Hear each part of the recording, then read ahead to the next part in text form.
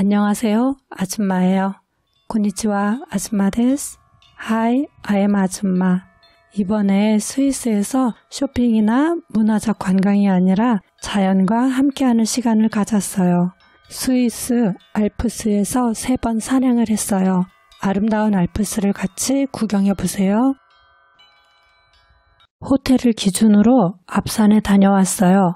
호텔에서부터 여기로 올라가서 호수 두 개를 지나서 이렇게 돌아 내려왔어요. 호텔이 해발 910m에 위치해 있고 호수 뒤쪽이 해발 약 1300m 정도 될 거예요. 휴식 시간 3, 40분 포함해서 약 7시간을 걸었어요. 이 지도는 등산과 케이블카 운행 지도이고 이 지도는 겨울에 스키슬로프와 리프트 그리고 케이블카 운행 지도예요.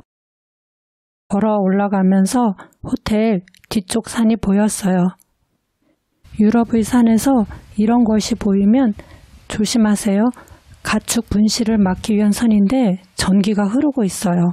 사람이 지나갈 때는 전기가 통하지 않는 손잡이를 풀고 들어간 다음에 다시 걸어 두셔야 해요.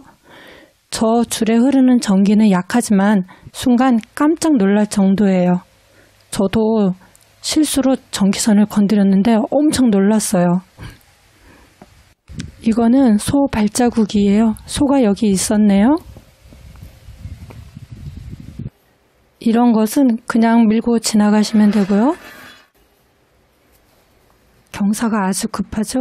그런데 소나 염소는 여기에서 풀을 뜯어 먹어요. 전기선은 여기도 설치되어 있네요. 혹시 궁금하신 분은 손등으로 살짝 쳐보세요.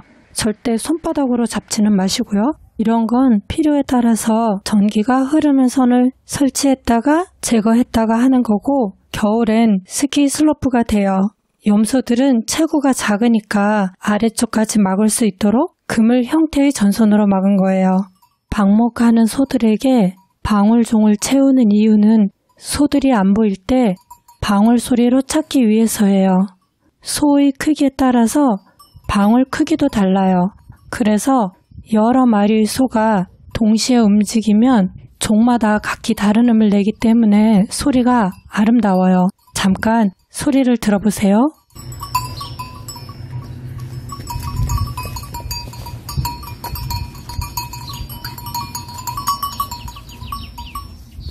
해발 1230m의 호수가 있고 그 호수가에 바비큐장 두 개가 있는데 땔감 나무까지 준비가 되어 있어서 놀랐어요.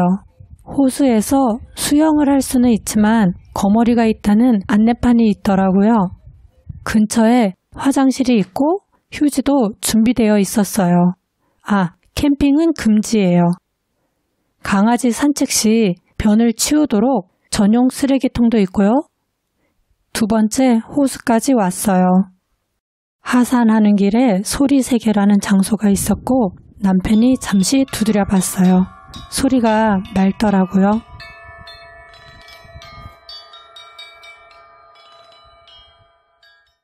어머나, 옥의 티를 발견했어요.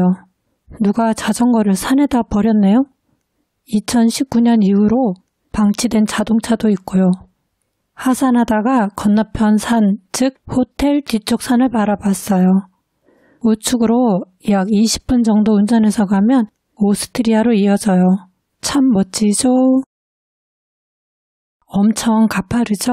겨울엔 스키장이 되어 우측 아래 동네로 내려갈 수 있어요. 아줌마 어디게요? 소들의 색이 예뻐서 영상에 담았는데 어때요? 예쁘죠?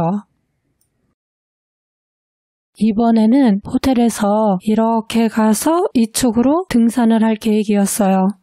가는 길에 모노레일을 타는 곳이 있었어요. 약 100년 전에 지어졌다는데 예쁘죠? 위쪽에 도착하면 정상까지 가기 위한 곤돌라로 갈아탈 수도 있어요. 곤돌라를 타면 해발 2262m에 도착하고 이렇게 돌아서 스키로 내려올 수도 있어요. 배터리 통이랑 전기가 흐르는 선이 있는 것을 보니 여기도 소가 있나 봐요. 더 올라가니까 이 표시가 있네요. 이건 이렇게 열고 소가 나가지 못하도록 다시 걸어놔야 해요. 근데 날씨가 갑자기 이상해지더니 급속도로 어두워지고 빗방울이 떨어지기 시작했어요. 소들이 뭔가를 느끼는지 갑자기 한 곳으로 모이더라고요. 그래서 우리는 어쩔 수 없이 하산을 했어요. 호텔에 당구대가 있더라고요. 저는 당구가 처음이었는데 2시간 정도 잘 놀았어요. 이번에는 호텔 기준으로 뒷산으로 가고 있어요. 산 속에 수련회를 온 학생들이 막 도착해서 놀고 있었어요. 애들끼리 며칠간 얼마나 신날까요? 나중에 좋은 추억이 되겠죠. 여기 소들은 방목이 되니 편안해 보여서 좋았어요. 엄청 가파른 곳에서도 소들이 잘 이동하고 풀을 뜯고 하더라고요. 더 올라가니 라마 농장도 있었어요. 벌써 털을 깎았네요. 새끼들이 정말 귀여워요. 여기에서 라마를 사육, 판매, 교접한대요. 정상이 점점 가까워지네요.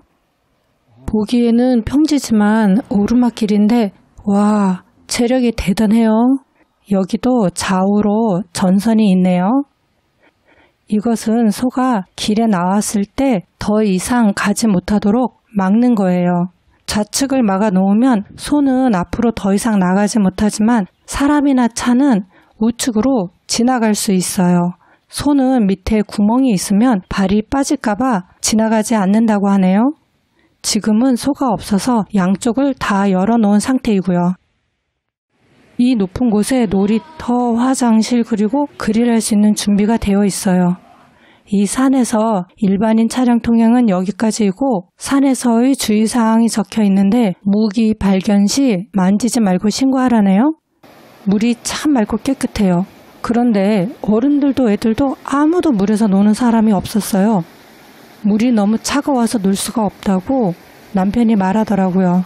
그래서 얼마나 차가운지 제가 들어가 봤지요. 어머나 몇 초 만에 발이 어는 것 같았어요. 이건 시원한 게 아니라 발이 아팠어요.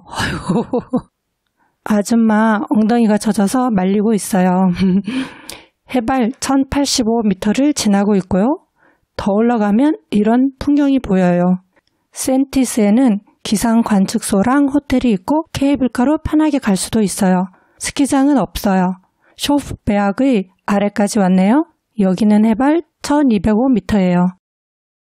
드디어 센티스의 케이블카 건물이랑 기상 관측소도 보여요. 육안으로는 창문 3개랑 올라가는 길에 놓인 벤치도 보였어요. 여기는 해발 1266m. 시간이 부족해서 센티스 정상은 다음에 가기로 하고 아쉽지만 하산을 했어요.